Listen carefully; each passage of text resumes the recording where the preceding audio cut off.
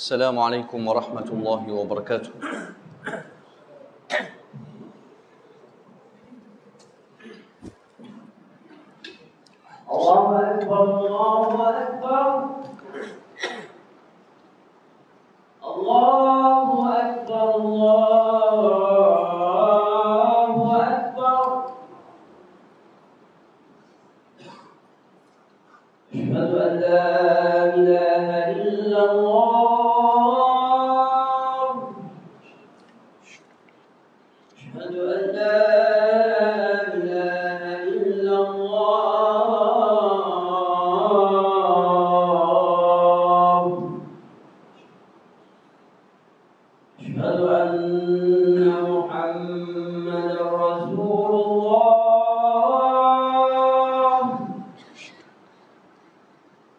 أشهد أن محمدا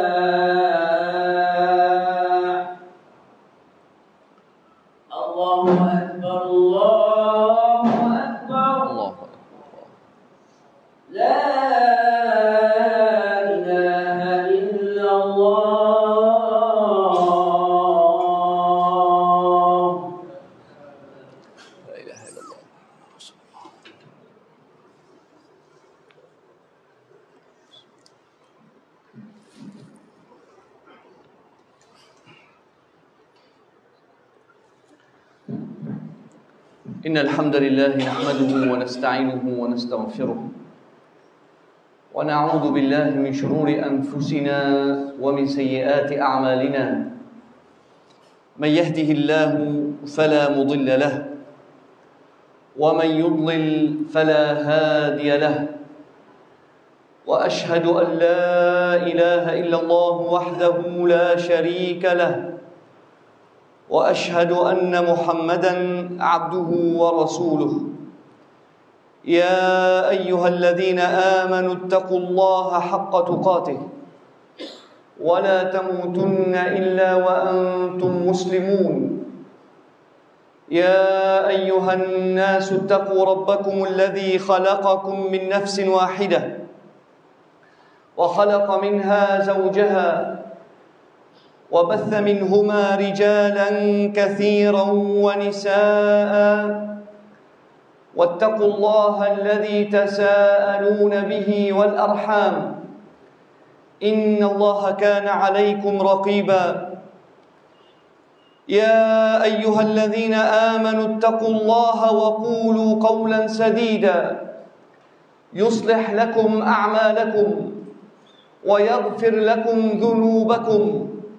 ومن يطع الله ورسوله فقد فاز فوزا عظيما.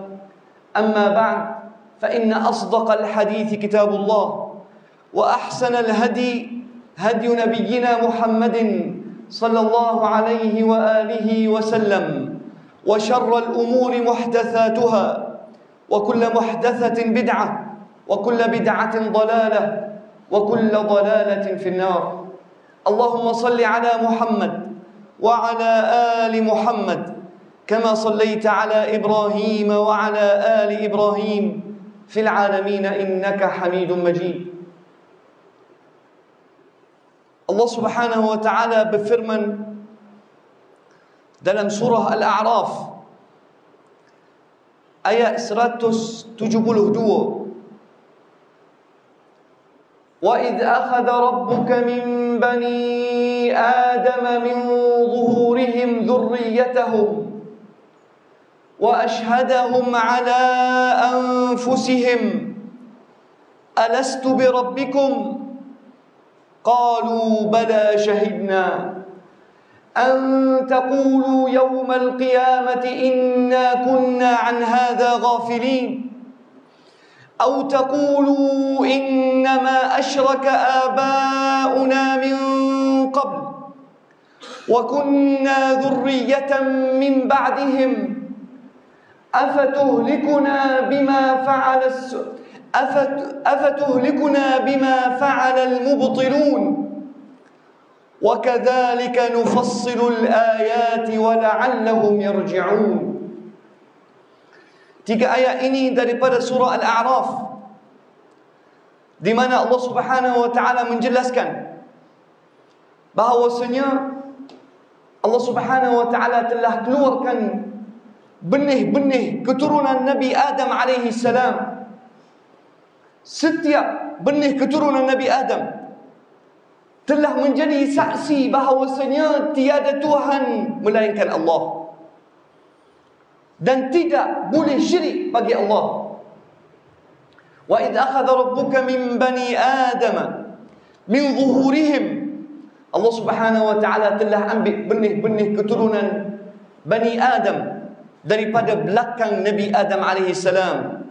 Wa ashhadahum ala anfusihim. Dan benih-benih ini menjadi saksi atas diri anfusihim alastu bi rabbikum? Allah Subhanahu wa taala menjadikan keturunan Bani Adam saksi bahawasanya Allah itu satu. Dan Allah itu Tuhan seluruh makhluk. Alastu bi rabbikum? Qalu bala shahidna. Semua keturunan manusia semua keturunan Bani Adam sebenarnya mereka telah saksi atas diri mereka bahawasanya mereka adalah hamba kepada Allah Subhanahu wa taala.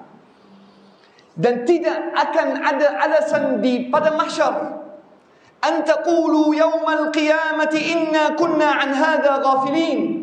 Tidak lagi ada sebarang alasan tidak boleh berdalih di pada mahsyar di hari kiamat tak boleh berdalih kata ya Allah kami lalai atas perkara tersebut. Tak boleh. Tetapi kalau kita nak memahami ayat ini perlu kita rujuk kepada sunnah Rasulullah sallallahu alaihi wasallam. Kalau kita nak faham al-Quran kita perlu memahami al-Quran dengan hadis Rasulullah sallallahu alaihi wasallam dan fahaman sahabat. Seperti hadis رواه أبو داود والترمذي والنسائي وأحمد. من حديث مسلم ابن يسار ورواه الإمام مالك والإمام القعنبي. من حديث مسلم ابن يسار قال سئل عمر بن الخطاب رضي الله عنه عن هذه الآية. عمر رضي الله عنه telah ditanya mengenai ayat ini. Lalu Al-Imam Al-Qa'nabi, Al-Imam Al-Qa'nabi adalah anak murid Imam Malik. Al-Imam Al-Qa'nabi rahimahullah membaca ayat ini. وَإِذْ أَخَذَ رَبُّكَ مِنْ بَنِي آدَمَ مِنْ ظُهُورِهِمْ ذُرِّيَّتَهُمْ وَأَشْهَدَهُمْ عَلَى أَنْفُسِهِمْ أَلَسْتُ بِرَبِّكُمْ Bila Umar radhiyallahu anhu diajukan soalan mengenai apakah tafsiran ayat ini? Umar kata laqad su'ila Rasulullah sallallahu alaihi wasallam an hadhihi al-ayah. Kata Umar Rasulullah sallallahu alaihi wasallam telah ditanya juga mengenai ayat ini. Tengok tuan-tuan. Ikhwani inilah fahaman al-Quran. Bagaimana kita nak faham al-Quran? Bukan ikut suka kita. Bukan fahaman ikut suka tuan guru ataupun ustaz tetapi as-sunnah di mana kata al-imam Yahya ibnu Abi Kathir rahimahullah as-sunnatu qadiyatun 'ala al-Quran kata al-imam Yahya ibnu Abi Kathir antara ulama hadis dia kata as-sunnatu qadiyatun 'ala al-Quran sunnah dan hadis Rasulullah sallallahu alaihi wasallam dialah yang akan memberikan kata putus maksud ayat tertentu dalam Al-Quran. Kita tak boleh ikut fahaman kita. Sebab itulah kita tengok kebanyakan ahli bid'ah dan ahli hawa nafsu mereka mesti akan tergelincir daripada hadis yang sahih. Mereka mesti akan menepikan hadis sahih Rasulullah sallallahu alaihi wasallam. Alaikum bisunnah ya ikhwani. Alaikum bisunnah fa innaha najah. Peganglah sunnah Rasulullah sallallahu alaihi wasallam. Peganglah hadis sahih Rasulullah sallallahu alaihi wasallam itulah penyelamat kita di akhir zaman ini daripada kesesatan yang berlaku. Umar radhiyallahu anhu kata apabila Rasulullah sallallahu alaihi wasallam ditanya mengenai ayat ini wa id akhadha rabbuka min bani adam min zuhurihim dhurriyyatahum maka kata Rasulullah sallallahu alaihi wasallam inna Allah خلق آدم عليه السلام. إن الله عز وجل لما خلق آدم عليه السلام مسح ظهره بيمينه فاستخرج منه ذرية فقال هؤلاء للجنة. وبعمل أهل الجنة يعملون Apabila Allah Subhanahu wa taala telah mencipta Nabi Adam alaihi salam Allah Subhanahu wa taala telah sapu belakang Nabi Adam dengan tangan kanan Allah. Fastakhraja minhu dhurriyyah, dhurriyatan. Maka Allah Subhanahu wa taala telah keluarkan satu zuriat daripada benih belakang Nabi Adam alaihi salam. Lalu kata Allah Subhanahu wa taala, "Khalaqtu haula'i lil jannah." wa bi'amali ahli jannati ya'malun. Allah Subhanahu wa taala bila sapu belakang Nabi Adam alaihi salam dan keluarkan benih-benih keturunan Nabi Adam, kata Allah, aku cipta mereka ini untuk syurga. Dan mereka akan beramal dengan amalan ahli syurga. ثم مسح ظهره فاستخرج ذرية. فقال الله تعالى خلقت هؤلاء للنار وبعمل أهل النار يعملون. لا لو الله سبحانه وتعالى لا كالي من يقوب لك نبي, إبرا... نبي آدم دان كلور كان بنه بنه ينترتنتو يعني dan Allah Subhanahu wa taala kata khalaqtu haula'i lin-nar Allah Subhanahu wa taala kata aku telah cipta keturunan ini untuk dicampak dalam api neraka. Wa bi'amali ahli an-nar ya'malun dan mereka akan beramal dengan amalan api neraka, akan beramal dengan amalan ahli api neraka. Maka ada seorang sahabat tanya Rasulullah sallallahu alaihi wasallam. Ada seorang sahabat tanya. Qala ya Rasulullah, "Falimal 'amal?" Kata sahabat ini, Ya Rasulullah, kenapa kita perlu beramal? Sedangkan Allah Subhanahu Wa Taala telah tentukan ada sebahagian keturunan Nabi Adam telah dicipta, telah ditakdir untuk masuk syurga dan ada sebahagian keturunan Nabi Adam telah ditakdir untuk api neraka. Lalu Rasulullah sallallahu alaihi wasallam bersabda dan menjawab dan menjelaskan Inna Allah إن الله تعالى إذا خلق العبد للجنة إن الله تعالى khalaqal 'abda lil jannah يسره لأن يعمل بعمل أهل الجنة. إن الله تعالى إذا خلق العبد للجنة جعله يعمل بعمل أهل الجنة.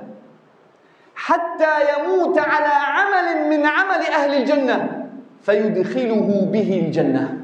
الله أكبر. Bila Allah Subhanahu wa taala cipta seorang hamba untuk dan ditakdirkan untuk masuk syurga. Allah Subhanahu wa taala ja'alahu ya'malu bi'amali ahli jannah. Allah Subhanahu wa taala akan memudahkan urusan dia. Allah Subhanahu wa taala akan memudahkan perjalanan dia untuk beramal amalan ahli syurga. Hatta yamut ala amalin min amali ahli jannah. Sehingga dia mati atas amalan amalan ahli syurga fayudkhiluhu bihi jannah. Maka Allah Subhanahu wa taala kemudian akan masukkan hamba itu di dalam syurga. Wa idza khalaqa Allahu al-'abda lin-nar. Dan bila Allah Subhanahu wa taala cipta seorang hamba-Nya untuk dicampak dalam api neraka ja'alahu ya'malu bi'amali ahli an-nar penghuni api neraka Allah Subhanahu wa taala akan memudahkan perjalanan dia untuk beramal dengan amalan penghuni api neraka.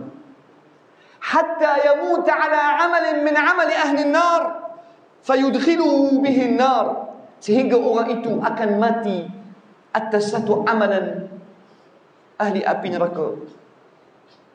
Maka dia akan jadi kewajipan untuk dicampak dalam api neraka. Ikhwani, Mungkin hadis ini ada segelintir kita tak faham. Tapi hadis yang lain akan menjelaskan lagi.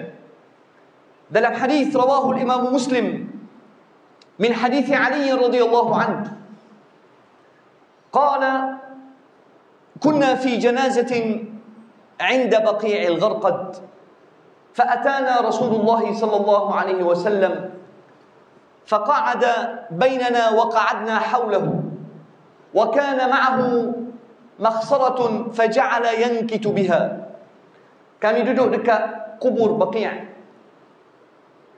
ada satu jenazah lalu datang Rasulullah sallallahu alaihi wasallam dan duduk bersama kami dan baginda duduk di tengah kami duduk sekeliling baginda alaihi salatu wassalam dan baginda alaihi salatu wassalam ada sebatang lidi baginda duduk kain di tanah Maka kata Rasulullah sallallahu alaihi wasallam, "Ma minkum min ahadin illa waqad kutiba maq'aduhu min al-jannah wa maq'aduhu min an-nar."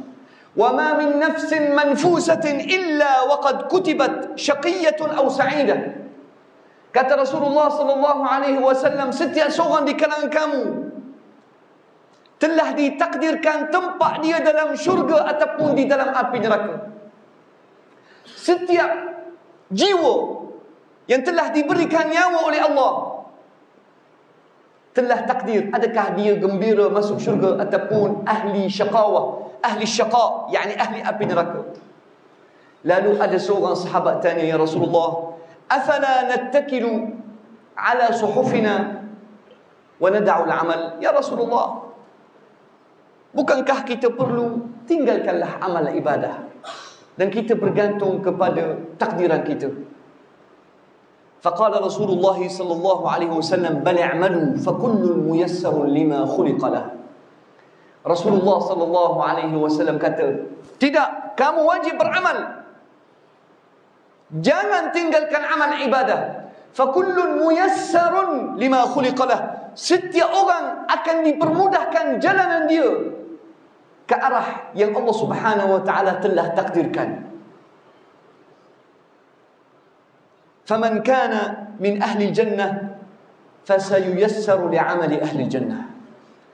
Kalau mereka yang telah ditentukan oleh Allah mereka ni ahli syurga, maka Allah Subhanahu wa taala akan memudahkan perjalanan mereka ke arah syurga.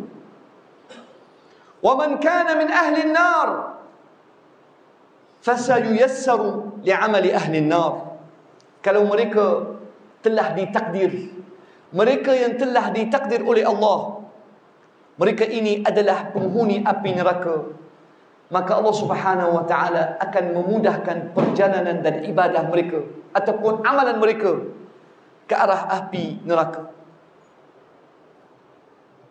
Lalu Rasulullah sallallahu alaihi wasallam baca fa amma من أعطى واتقى وصدق بالحسنى فسنيسره لليسرى فأما من أعطى واتقى mereka yang banyak bersedekah mereka yang bertak yang bertakwa mereka yang takut pada Allah فأما من أعطى واتقى واتقى وصدق بالحسنى dan percaya bahawasanya ada syurga ada api neraka fasanuyassiruhu lil yusra Allah Subhanahu wa taala akan mudahkan perjalanan dia ke arah syurga insya-Allah.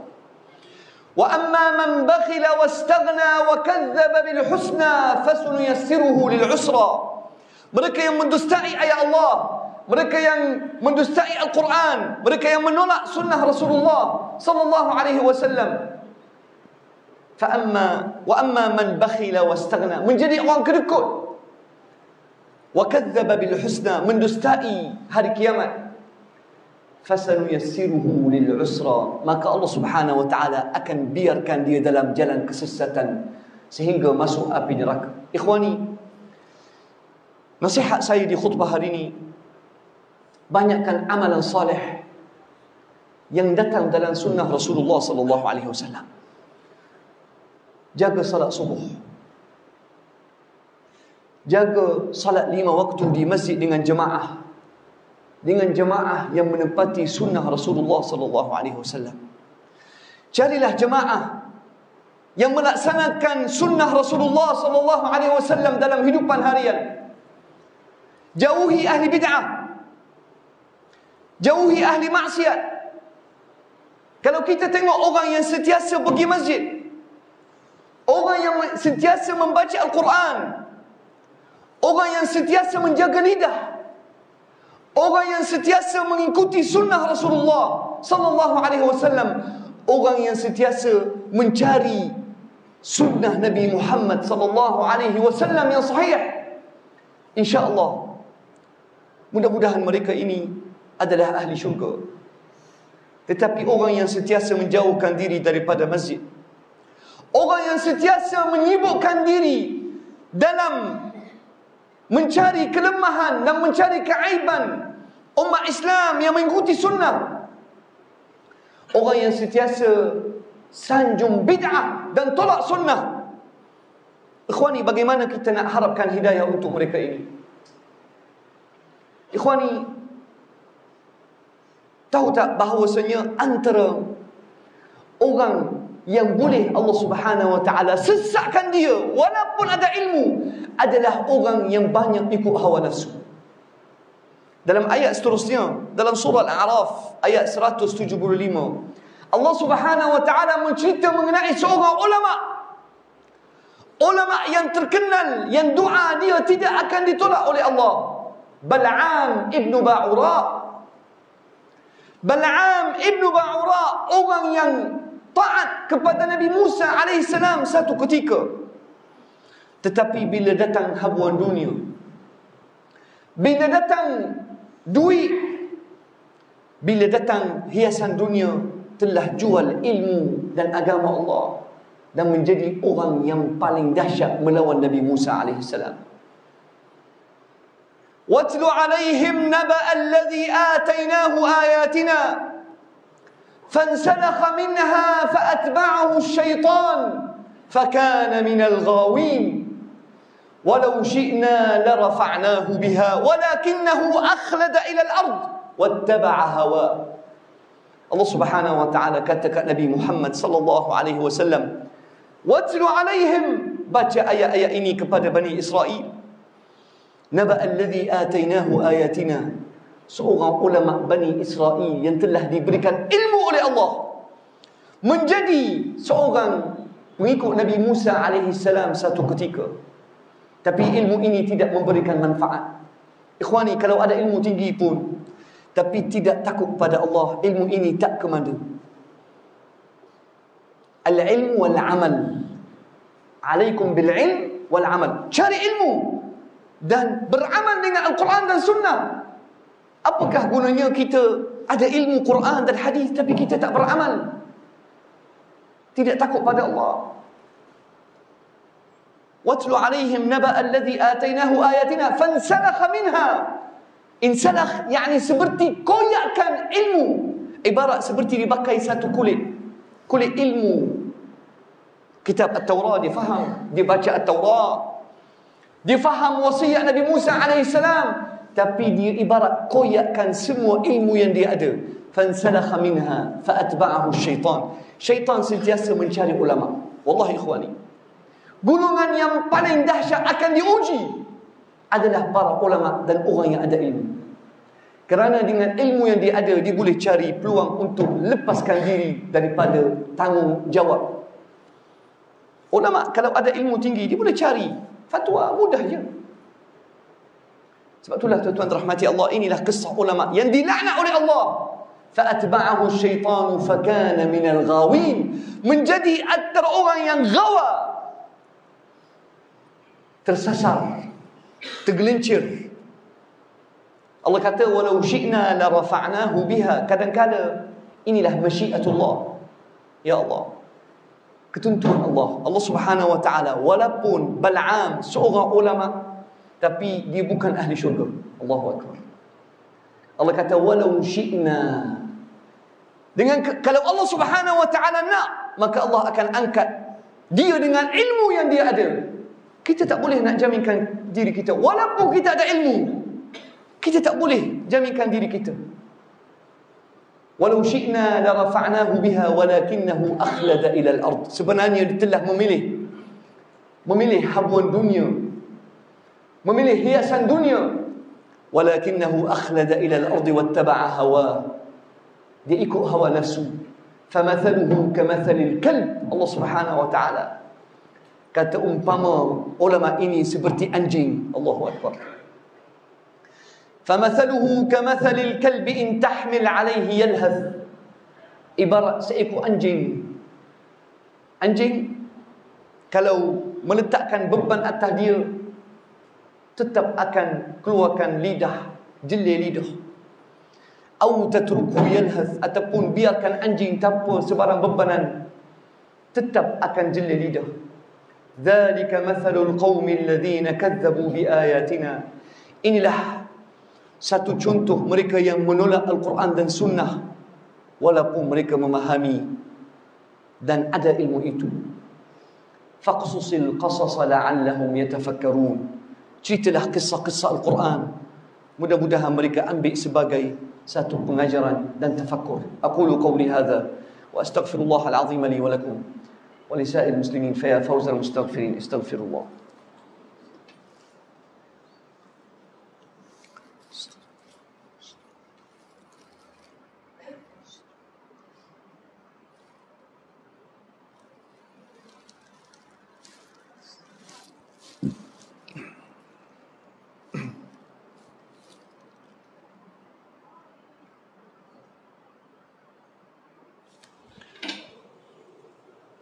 الحمد لله الذي أنزل على عبده الكتاب ولم يجعل له عوجا. وأشهد أن لا إله إلا الله وحده لا شريك له. وأشهد أن محمدا عبده ورسوله صفيه وخليله. أرسله الله بالهدى ودين الحق ليظهره على الدين كله. ولو كره المشركون. اللهم صل وسلم وبارك على حبيبنا وشفيعنا نبينا محمد وعلى آله وصحبه أجمعين إخواني sentiasa meminta dengan Allah Subhanahu wa taala untuk selamatkan kita daripada api neraka. Minta dengan Allah Subhanahu wa taala supaya sentiasa melindungi kita daripada sedikit azab kubur. جاء في الحديث الصحيح رواه الإمام مسلم والإمام أحمد. أم حبيبة رضي الله عنها إستري رسول الله صلى الله عليه وسلم. أم حبيبة بردعاء قالت أم حبيبة حديث إني daripada عبد الله بن مسعود أم حبيبة كت اللهم متعني بزوجي رسول الله صلى الله عليه وسلم أم حبيبة بردعاء kata, Ya Allah, amti'ni bi zawji Rasulillah. Ummu Habibah, iaitu Ramlah binti Abi Sufyan. Ramlah radhiyallahu anha kata, Ya Allah, bagi aku hidup bahagia dengan suami aku Rasulullah sallallahu alaihi wasallam. Wa amti'ni bi Abi Abi Sufyan. Kata Ummu Habibah, Ya Allah, bagi aku bahagia hidup bersama ayah aku Abu Sufyan. Wa bi akhi Muawiyah Ummu Habibah doa ya Allah bagi aku hidup bahagia bersama أدي أبو معاوية رضي الله عنه. radhiyallahu رسول الله صلى الله عليه وسلم برسبدا قال لقد سألت الله بآجال مضروبة وأيام معدودة وأرزاق مقسومة. الله أكبر. كتى رسول الله صلى الله عليه وسلم إخواني كنا فهم حديث إني سنة عنده رسول الله صلى الله عليه وسلم كتى وهي أم سلمة أم حبيبة engkau telah meminta dengan Allah ajalin madrubah. Ajal-ajal yang telah ditentukan tak akan diubah. Ikhwani, ajal kita tak akan dipanjang ataupun dipendek. Telah ditetapkan tak akan diubah. Laqad sa'alti Allah bi ajalin madrubah. Ajal-ajal yang telah takdir oleh Allah. Mungkin esok lusa kita akan mati, kita tak tahu. Isteri kita akan minta, Ya Allah, panjanglah, panjangkanlah umur suami aku. Ikhwani tak akan panjang walaupun sedikit. Sebab tu Rasulullah sallallahu alaihi wasallam tetapkan dalam hadis yang sahih, ajal kita tak akan berubah. Laqad sa'alti Allah bi ajalin madrubah wa ayyamin ma'dudah. Hari-hari yang telah ditentukan. Wa arzaqin maqsumah. Rezeki yang telah ditentukan oleh Allah. Kita tak akan ambil walaupun sedikit rezeki kita hak lebih. Tak akan kurang walaupun sedikit. Allah telah taksim. Allah telah bahagi dah rezeki. Allahu Akbar. Wa innahu lan yu'ajjila syai'an wa inna Allah lan yu'ajjila syai'an an hillih inna Allah ta'ala lan yu'ajjila syai'an qabla hillih Allah Subhanahu wa taala tak akan cepatkan sesuatu benda sebelum datang ajal dia. Walan yuakhira syai'an an hillih dan tidak akan lewatkan sesuatu daripada bila ajal dia sampai. Walakin is'alillah an yu'idaki min azabi an-nar. Wahai ummu habibah minta Allah Subhanahu wa taala selamatkan dan lindungi kamu daripada azab api neraka. Wa halla sa'alti Allah an yu'idhaki min adhab al-qabr? Mengapa engkau tidak meminta perlindungan Allah daripada azab kubur? Ikhwani, sentiasa minta. Allahumma inna na'udhu bika min azab an-nar. Wa na'udhu bika min azab al-qabr. Allahumma inna na'udhu bika min azab an-nar. ونعوذ بك من عذاب القبر. يا رب العالمين اللهم اغفر لنا ذنوبنا وإسرافنا في أمرنا وثبت أقدامنا وانصرنا على القوم الكافرين. اللهم يا مقلب القلوب والأبصار ثبت قلبنا على دينك. يا Allah wahai membolak ما hati ككل kekalkanlah hati كامي atas agamamu يا الله. يا رب العالمين اللهم آتنا في الدنيا حسنة وفي الآخرة حسنة وقنا عذاب النار. وأنت يا أخي أقم الصلاة.